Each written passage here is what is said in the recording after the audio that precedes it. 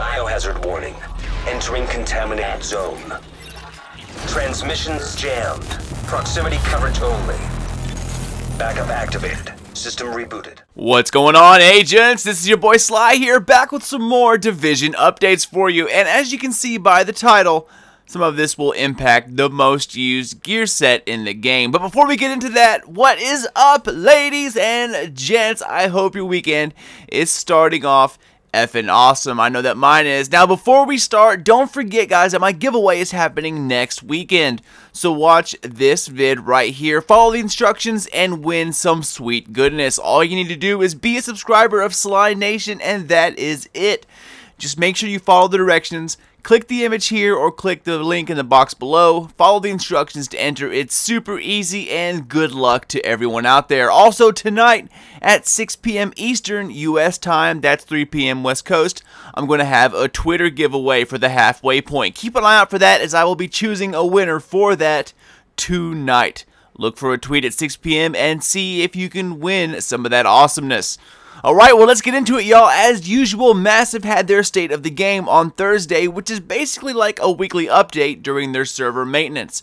Once again, no date set on when the next update is due to hit. I was almost positive that this week would be the week for the announcement, but I'm going to have to eat it because I guess I was wrong. Now, with the month almost halfway finished, we should see something very soon. So let's keep our fingers crossed. But let's get into the meat of the update, and we're going to start with gear sets. Now, there is no official names yet, but they have confirmed that there will be two or three new sets. These sets will be tailored to specific weapon types. Where the first wave of gear sets kind of hinted at different playstyles, the new ones are going to be more in line with a specific weapon type. Like I said, they haven't named them or given them official numbers as to how many there will be released, just the direction that these new sets will take us. Now they have confirmed that the power level will also not increase. Gear score of 240 will still be the max for all armor and gear, while weapons will be remained at a capped 204. Now they're doing this to ensure they don't reach like a World of Warcraft scenario where you're gonna, like in a few years time, you're gonna be doing damage in like the tens of millions and have bosses with like a billion HP.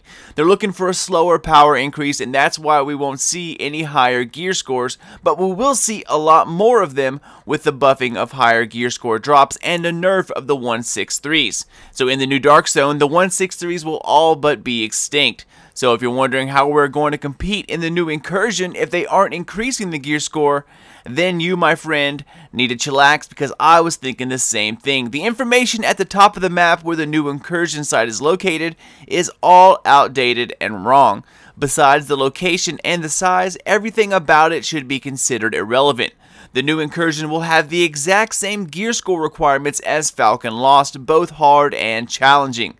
Even the name is being changed. Now, Broken Circle, while a great name for Falcon Lost, it isn't really a fitting name for this new mission, and it'll be renamed by the time 1.2 drops. So far, no word on the new name, but you definitely don't need to be 220 gear score to enter this bad boy, so that is definitely a sigh of relief.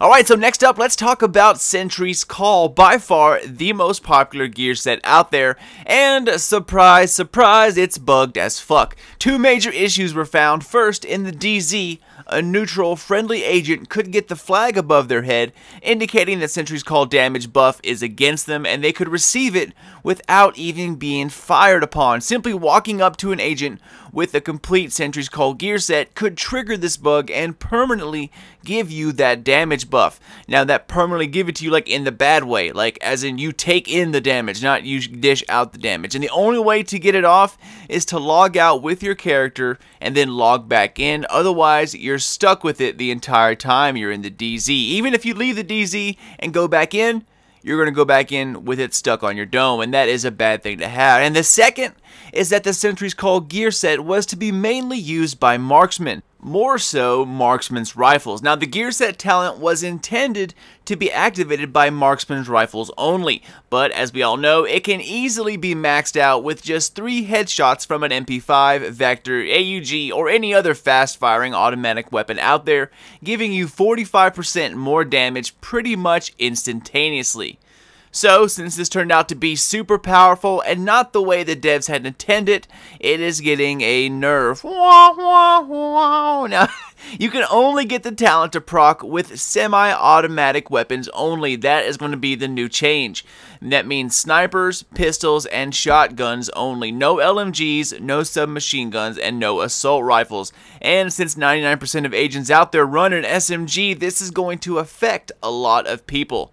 Honestly, in the beginning, that's why I never went with Sentry's Call because I thought it was only supposed to work with snipers, which is why I went all strikers. With this nerf coming here in the next week or two, I think there will be a lot more people switching over to strikers. Now remember, it will still be beast to those that have an M1A or an M44 or the eh, Covert SRS, you know, all those are still going to work great. So don't get rid of it. It will still be beast and a great option for bosses.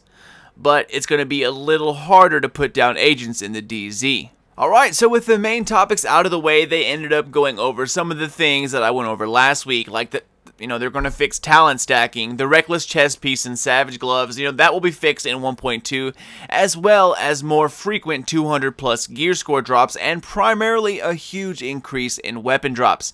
Now, while they are nerfing the amount of mods being dropped, they are doing something to mods themselves and they might end up being worth your while. They are buffing the percentage of secondary attributes on performance mods.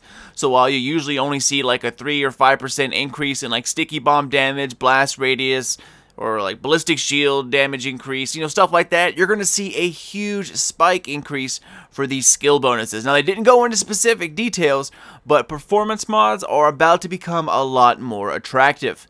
So let's go ahead and get to the final big change coming to the Division in 1.2, and that is something called toughness. So have you ever had like two pieces of armor that both were great, but one had more armor and less stamina, and the other had more stamina but less armor? Kind of confusing, right? Now, which one is going to allow you to soak up more bullets and keep you in the fight a little longer? Well, it's hard to find out, but in 1.2, they're adding a gauge of toughness. Now, so instead of guessing which one is better, you can see a toughness rating of your equipped items, and then you can compare it to your current setup to see if it is indeed a better armor piece or if it ends up lowering your survivability. This is something that I am definitely excited to see. It will take into account your stamina and your armor from each piece and give you a rating based on those factors. This will drastically improve your ability ability to equip better gear. Now be aware that it does not take into account damage from elites, that is a separate category.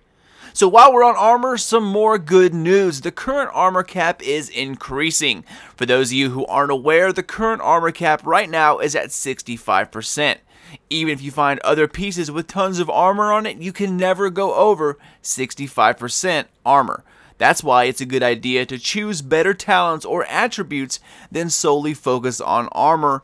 Just after a few high pieces, you're going to end up maxing it out really, really easily. So in the next update, 1.2 Conflict, the armor cap will be raised to 75%. That is a huge difference, man. I mean, 75% armor is a huge chunk, and I'm excited to see how that translates into shotgun survivability. But that's it, guys. Sorry if these vids are a little boring, but there really isn't a great way to get this information out there. Now, if you want to see the entire broadcast out for this week's State of the Game, check it out in the description box below. It will have a link so you can watch it in its entirety all for yourself. Well, I'm out, Nation. As always, you guys are freaking awesome, and thank you all for watching. If you want to stay up to date on everything, The Division, Destiny, and new uploads from Sly Nation, Twitter is the best place to do so. Follow at Sly Nation and be alerted to new uploads from my channel and hot topics from our favorite games. Don't forget, tonight at 6 p.m. is my Twitter giveaway, and a few hours after that, I will announce a winner. I couldn't do this without you guys. Don't forget that, and until next time, this is your boy Sly. Done. Gone. Out. Zone B secure.